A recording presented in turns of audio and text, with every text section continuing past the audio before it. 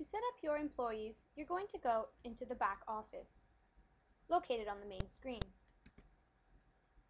Then you are going to select Employee. When you first get the software, you will have three pre-configured employees in the system. One manager, one cashier, and one server.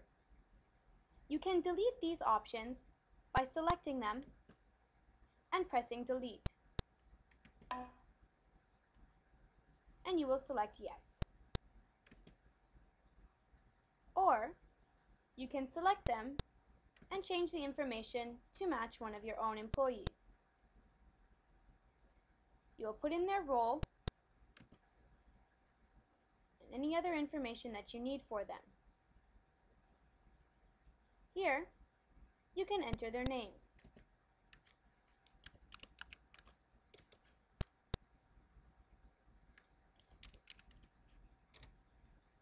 And you will be able to see that reflected here.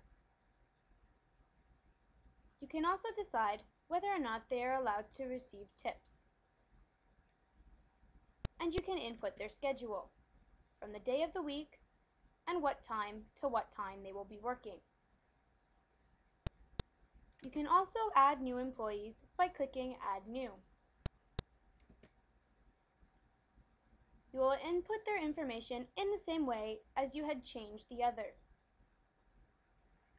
You will also give each employee their own employee number and their own password to keep track of who is logging onto the system.